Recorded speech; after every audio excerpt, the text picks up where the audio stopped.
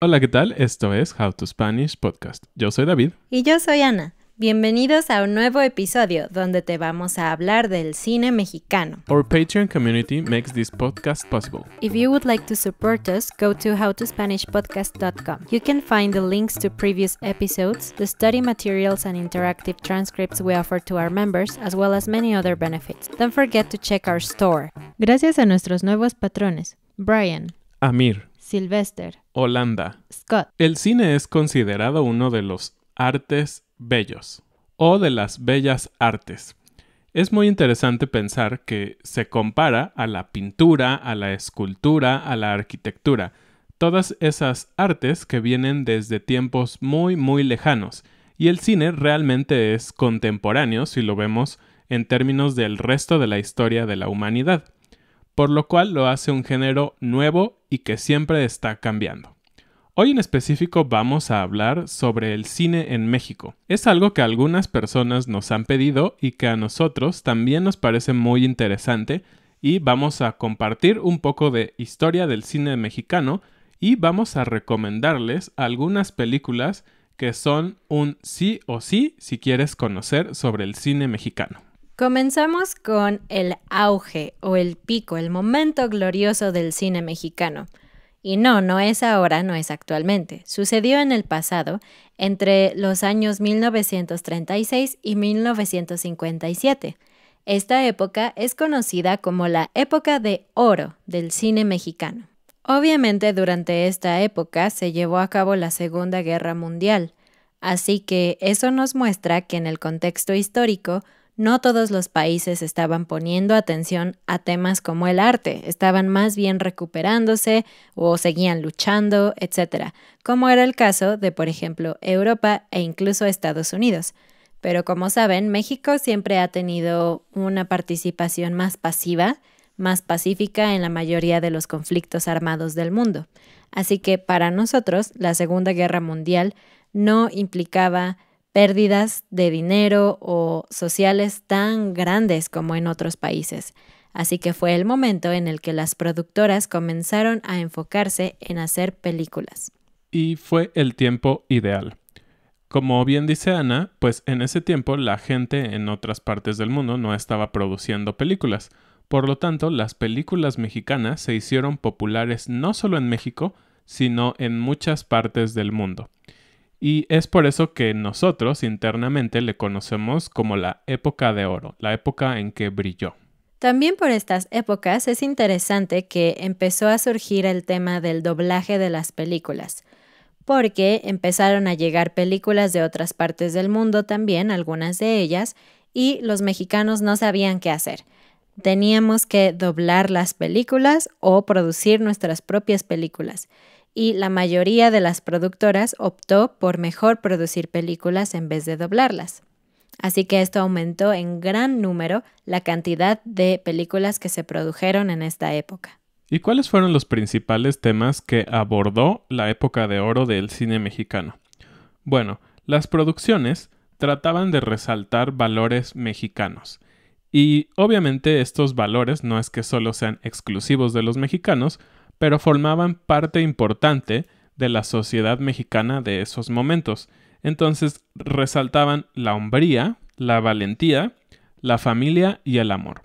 Debemos recordar también que México tenía pocos años que había pasado por la Revolución mexicana, entonces había ese sentimiento de unión de cierta manera de los mexicanos, pero también había problemáticas sociales que trajo la guerra no podemos olvidar que siempre las guerras trae pobreza y trae que las familias se separan y algunos otros problemas. Entonces, todo esto parecía de cierta manera algo también idealizado, lo que los mexicanos querían, como era tener paz, tener amor, tener lo que la sociedad necesitaba. Algunos personajes que solo vamos a mencionar, pero que fueron grandes, grandes en la historia de México y del mundo, y si quieres te invitamos a que investigues un poco sobre ellos o busques películas de ellos, son Jorge Negrete, María Félix, Silvia Pinal, Tintán, Cantinflas y Pedro Infante. La mayoría de los mexicanos conocen a estos personajes y Por ejemplo, como es mi caso, yo no vi películas con todos ellos, pero sé perfectamente quiénes son, porque pasaron de generación en generación. Por ejemplo, Jorge Negrete se dice que cantaba bien. Entonces la mayoría de las mujeres en esa época estaban enamoradísimas de él, tanto que incluso recuerdo que mi abuelita decía que él había sido su esposo y contaba como historias o leyendas de eso, y creo que era muy común, las mujeres siempre estaban hablando de él. Así que yo no puedo ah, ubicar su cara en mi mente porque no lo vi realmente, pero sé lo importante que fue. En ese mismo aspecto de el mexicano que canta, este charro que es invencible y todo esto, como era normalmente Jorge Negrete, teníamos a Pedro Infante. Ellos dos fueron grandes exponentes de estas películas en donde había música, eh, obviamente música mexicana de charros, donde ellos peleaban por el amor de una mujer y trataban de hacer justicia, a veces por las buenas o por las malas, digamos, no cumpliendo la ley. Entonces, ellos dos fueron personajes súper emblemáticos de este tipo de películas, de los charros mexicanos. Y la realidad es que ellos tenían cierta rivalidad sobre estas películas. Mucha gente era del equipo de Jorge Negrete o del equipo de Pedro Infante. Siempre cuando tú hablas con alguien que vivió o que estuvo más adentrado en este tipo de películas y canciones, siempre hay unos que hablan bien de uno y bien de otro, o al contrario, les gusta uno en específico. Entonces ellos dos son figuras muy importantes de esa parte del cine mexicano. Y no todos los grandes personajes eh, eran como hombres valientes, charros, guapos. También teníamos personajes muy chistosos, como Cantinflas o Tintán. Si ustedes han visto estos personajes, son todo menos guapos, solo son muy, muy, muy graciosos. Y era una propuesta interesante porque seguían hablando de las problemáticas sociales, pero con mucho humor. Si ustedes han buscado o han visto películas de Cantinflas, hemos hablado también un poquito de él, él prácticamente hablaba otro idioma. Realmente hablaba español, pero tenía una manera muy increíble de confundir con muchas palabras sin decir nada. Es por eso que, como hemos dicho, tenemos el verbo cantinflear, que es decir mucho sin decir nada. Un hito interesante de la historia del cine en México fue la creación de la Academia Mexicana de Artes y Ciencias Cinematográficas, que nació en 1946 y que otorga el premio Ariel, que es como los Oscar, pero en México. Como dijimos, no todo ocurrió adentro del país. Unas cosas se llevaron al exterior y se hicieron muy famosas. Y fue así como en el año de 1946 el director mexicano Emilio Fernández ganó la Palma de Oro del Festival de Cannes. Y algo que es súper interesante es que fue el primer festival de Cannes de la historia. Entonces es un dato que tal vez no todos conocen y nosotros como mexicanos deberíamos de estar orgullosos, ¿no? Sí. El primer festival de Cannes de la historia fue ganado por una película mexicana. La película se llamó María Candelaria. Un año después, en 1947, este mismo director, Emilio Fernández, dirigió la película La Perla. Y en esta película vemos la historia de una pareja que no tiene dinero y está muy desesperada porque su hijo fue picado por un alacrán y necesita un tratamiento que ellos no pueden pagar. Pero lo interesante de esta película es que se ganó un Globo de Oro a la mejor fotografía por Gabriel Figueroa. Y fue interesante que en estos años, en el 46 y 47, se ganaron estos premios en el extranjero, porque también estos años se les conoce como la finalización de la época de oro. Y si ponen en contexto lo que estaba pasando en el mundo, en el 45, un par de años antes, se había terminado la Segunda Guerra Mundial, y después de eso las grandes potencias, de nuevo, en Europa y Estados Unidos, estaban retomando eh, la industria del cine, y México fue un poco más opacado. Y otro hecho histórico también tuvo que ver con esto. Alrededor de estos años, la televisión empezó a llegar de una manera masiva a los hogares mexicanos y por lo tanto empezó a decaer la asistencia al cine y la gente empezó a consumir más contenido en televisión que en el cine. Algo que forma parte de la historia oscura de la historia del cine en México tiene que ver con un monopolio. El estadounidense William O. Jenkins empezó a comprar todos los cines de la República Mexicana y fue apoyado por el gobierno de México en esa época. Esta época en la historia de México es muy conocida por mucha corrupción y por permitir también que muchos extranjeros llegaran al país a hacer negocios.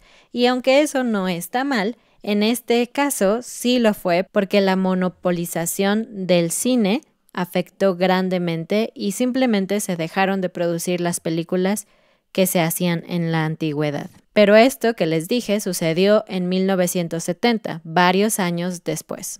Pues así fue como sucedió la época de oro y también el final o el declive de esta época gloriosa. Pero el cine mexicano realmente nunca ha parado. Y tenemos algunos grandes directores actualmente que han ganado varios premios y que son reconocidos internacionalmente. Esto ocurre a partir más o menos de los años 2000. Y como dijo Ana, lo último que supimos del cine mexicano fue al finalizar la Guerra Mundial, es decir, en los 50, y de ahí hacia adelante el cine mexicano estuvo un poco dormido, por decirlo así, la calidad de las producciones que se realizaban no fueron tan buenas y no hubo inversión en el cine, por lo tanto era muy difícil salir adelante. Y algo que sigue siendo real a la fecha, y en este nuevo cine mexicano, como se le conoce, es que ningún cineasta mexicano puede vivir de eso en México el día de hoy. La realidad es que los grandes cineastas que hoy conocemos tuvieron que salir al extranjero para explotar ahí su talento y que pudieran obtener inversión de alguien más y lograr todos sus proyectos. Tal es el caso, por ejemplo, de alguien muy conocido, Iñárritu. Alejandro González Iñárritu inició su carrera en México en el año 2000 con Amores Perros. Y aunque fue una película muy exitosa en México y realmente de bajo presupuesto, no se compara con las siguientes obras que hizo. Hizo sus siguientes películas ya con actores muy famosos de Hollywood, como fue 21 gramos, Babel con Brad Pitt, Beautiful con Javier Bardem y las más conocidas Birdman y El Renacido o Revenant, como se llamó en inglés. Estas dos últimas películas ganó el Oscar como mejor director.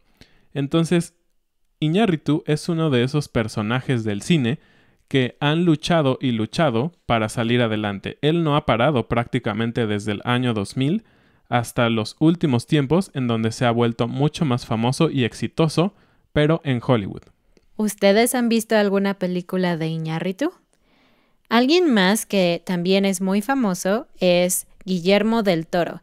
Él es un director de películas fantásticas como La forma del agua, que es una de las últimas que hizo y que fueron muy muy famosas porque ganó el Globo de Oro a Mejor Director y el Oscar a Mejor Director y Mejor Película. Y para cerrar esta triada de grandes directores mexicanos contemporáneos tenemos a Alfonso Cuarón.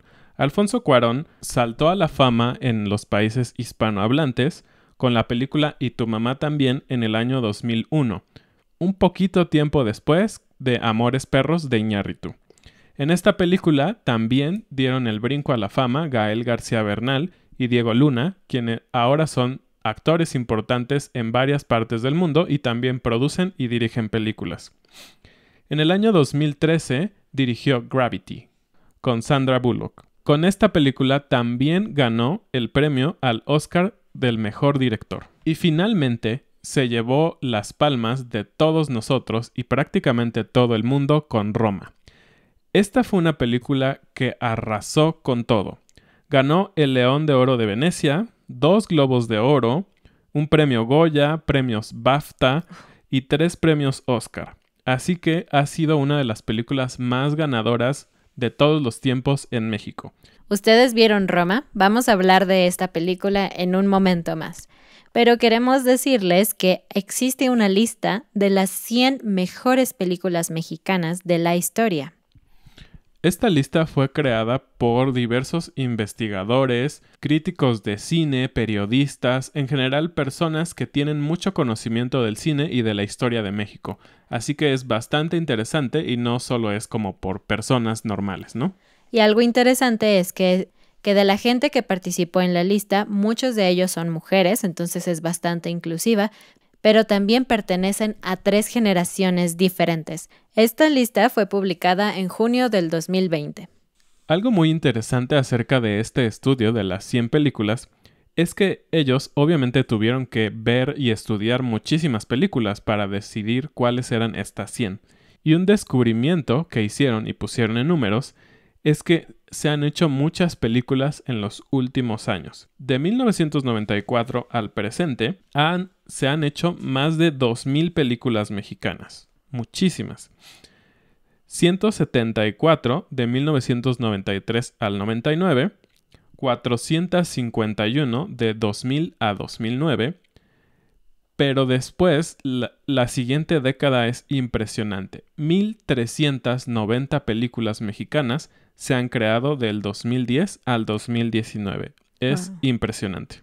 Una parte importante de este gran crecimiento en la última década es que muchas de estas películas fueron lanzadas digitalmente, como es el caso de Roma, que fue muy famosa y que se lanzó a través de Netflix.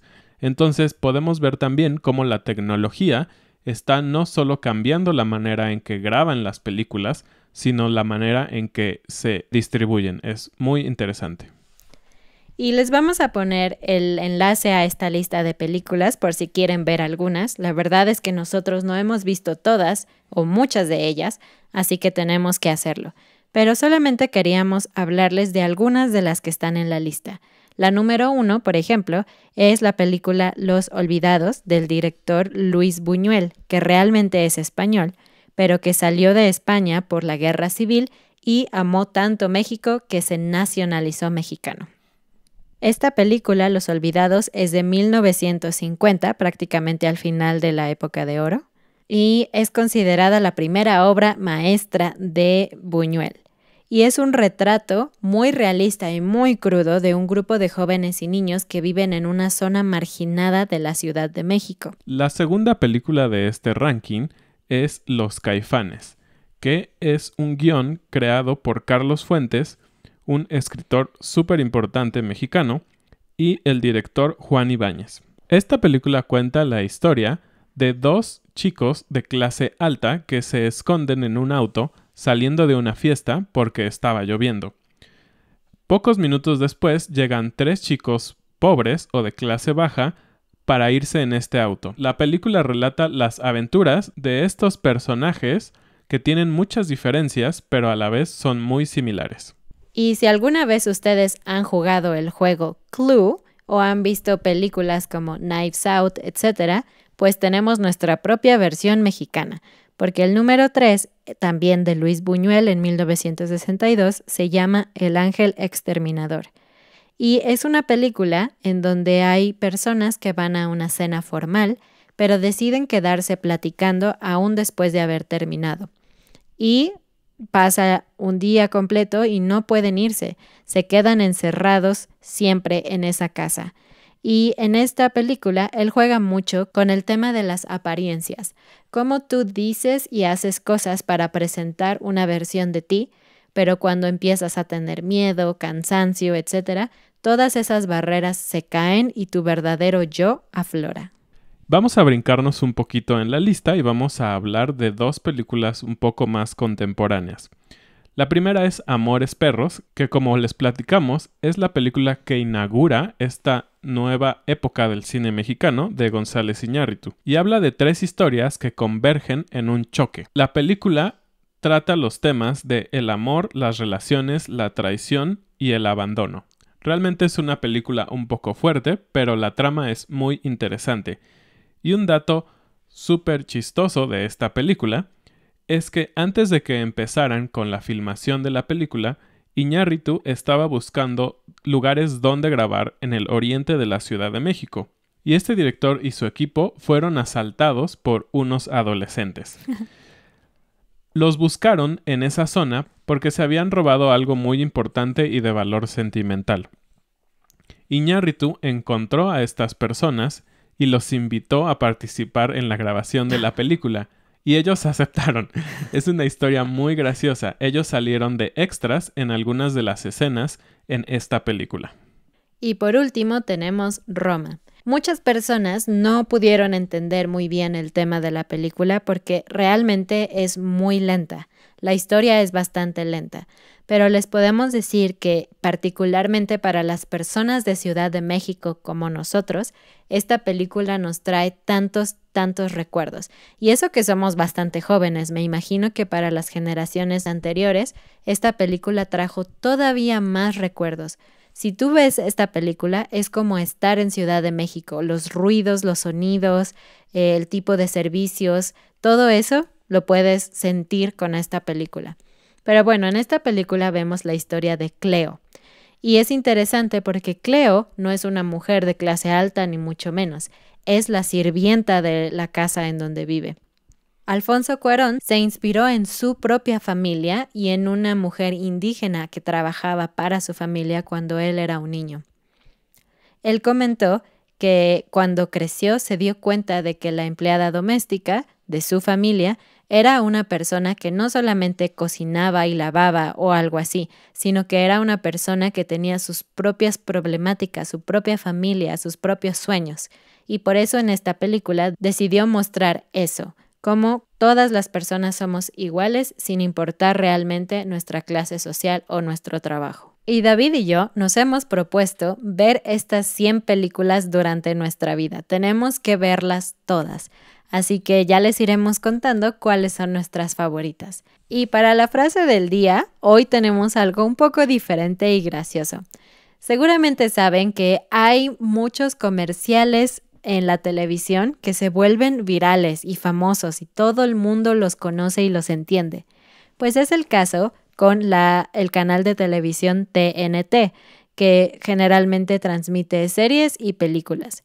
Este canal se hizo muy famoso en México porque tenía un anuncio que decía, pasa en la vida, pasa en las películas, pasa en TNT.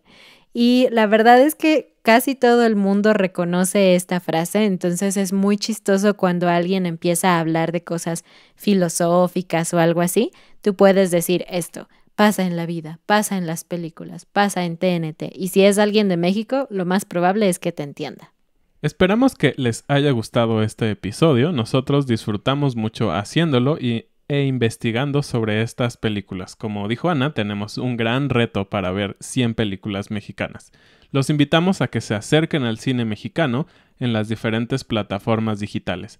También los invitamos a que visiten nuestra página howtospanishpodcast.com y nuestra página de Patreon. No olvides dejarnos un comentario y nos vemos la próxima semana. Adiós.